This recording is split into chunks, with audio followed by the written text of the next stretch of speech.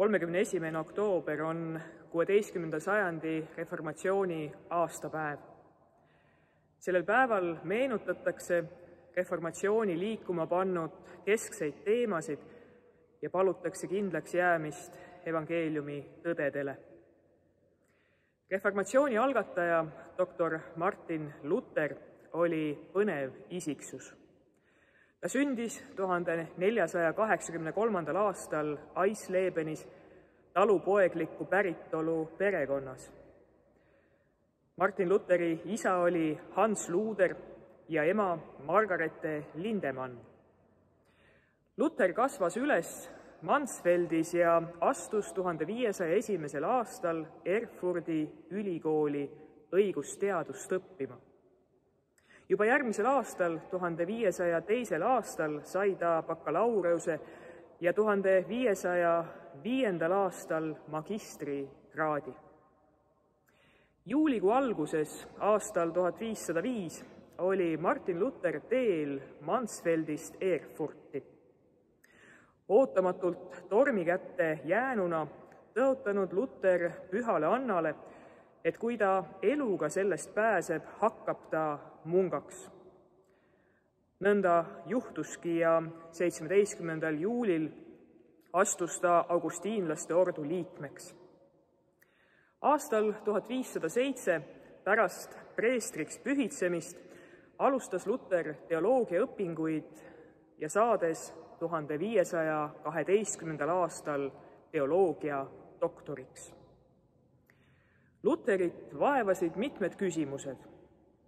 talle õpetati, et Jumalale meeldimiseks ja Jumala armu ärateenimiseks peab inimene endast andma parima, armastama Jumalat üle kõige. ent seda Jumalat, keda inimene pidi armastama üle kõige, kujutati kohtunikuna, kes arvestab kaalukaussidel kokku inimese head ja halvad teened. Luteri jaoks oli see lõks. Luter tundis Jumala kiriku antud käske ja nõudeid väga hästi. ta pidas neist kinni. Need aga ei pannud teda Jumalat armastama. Need pigemini sundisid teda Jumalat ja kirikut kartma, teenima ja orjama ja isegi ta tunnistas vihkama. Kirik seadis rõhu Jumala kohtumõistmisele ja karistusele juba maise eluajal ehk ajalisuses. ent oma küsimustele vastuseid saada läks Luter otse Jumala eneseilmutuse ja ainult piibliteksti kui õpetuse juurde, mille teaduse professoriks oli ta Wittenbergi ülikoolis ka saanud kolmekümne esimesel oktoobril aastal tuhat viissada seitseteist naelutas Martin Luther legendi järgi Wittenbergi lossi kiriku uksele üheksakümmend viis teesi, kus ta mõistis hukka patukustutuse sedelite müütamise.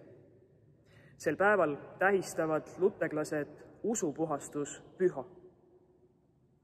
Martin Luther koostas oma vaidluslaused ehk vastulaused ladina keeles mis oli tema ajastu akadeemia ja ka kirikukeel, et astuda vaidlusesse teiste ülikoolide ja Rooma katoliku kiriku usuteadlastega indulgentside üle. Luteri vastulaused tõlgiti aga kohe ka saksa ja teistesse Euroopa peakeeltesse ja paljundati ja levitati kõikjale Euroopasse. Martin Luther kutsus kristlikku kirikut üles tulema tagasi piibliõpetuste juurde. Luteri eesmärgiks ei olnud astuda katoliku kirikust välja ja asutada katoliku kirikust eraldiseisvat kirikut. Luteri sooviks oli, et puudused kõrvaldataks ja kirik võiks olla tõeline issanda kirik pühakirja sõna kohaselt ja Martin Luther leidis tee, mis pühakirjas oli selgelt olemas. ta leidis selle ühes lauses nii Uues kui ka Vanas Testamendis. õige elab usust, ütleb Apostel Paulus kirjas roomlastele ning sama salm kordub ka Vanas Testamendis prohvet Habakuki raamatus teises peatükis. Jumala õigus, pühadus tuleb Jumala armastusest patuste vastu.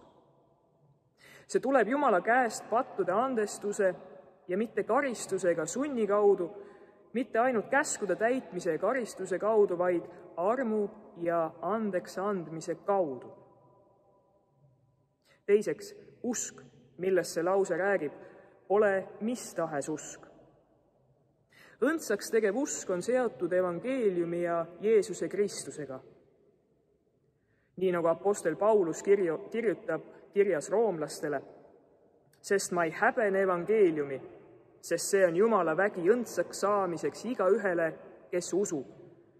sest temas, see on Jeesuses Kristuses, saab ilmsiks Jumala õigus pühadus, usust usku, nõnda nagu on kirjutatud, õige elab usust. Õige kristlane ja õndsaks tegev usk on kui kerjus ja kerjuse käsi Jumala ees, kes ootab, et temale pannakse pihku münt või kuldmünt, mille ta siis vastu võtab ja mis saab talle varanduseks. Jumal on lahendanud meie patuvõla pühaduse puuduse oma poja Jeesuse Kristuse kaudu.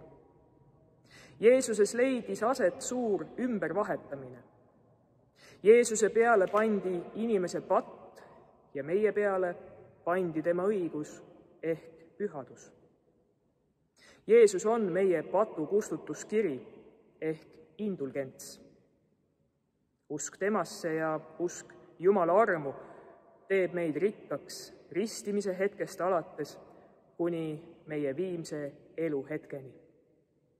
Jeesus Kristus teeb meid vabaks risti inimeseks ka tänapäeval, sest Jeesus Kristus on seesama eile, täna ja igavesti. küsigem siis tänasel usupuhastuspühal iseendalt jätkuvalt, kes või mis on minu usu aluseks kuhu ja kelle peale toetub minu südameusk. Martin Luteri järgi olgu kogu meie elu aga meeleparandus, et me saaksime kogu oma elu kohandada Jumala tahtele vastavaks ja elada pidevas uuenemises. me vajame meeleparandust. me vajame meeleparandust, et otsida lepitust, andeks palumist ja andeks andmist et võiksime puhastatuna edasi minna. Jeesus Kristus on meie elu põhjus, mõte ja siht. Ja tema evangeelium teeb meid julgeks ja vabaks astuma Jumala ette koos kõigi oma eksimuste ja kõigi oma pattudega. mida Jumalt meilt käsu alusel nõuab, seda ta evangeeliumi kaudu ise meile armust pakub ma lõpetan peapiiskop Urmas Viilma sõnadega. issand Jeesus ei oota inimeselt patte kustutavaid teeneid ega indulgentse, vaid siirast usku ja meeleparandusest kantud elu tema ustavate järgijatena. Jumala arm üksi ja meie usk teevad meid õigeks. Kristus üksi on suur reformaator meie usu ainus puhastaja ja meile igavese elu kinkija.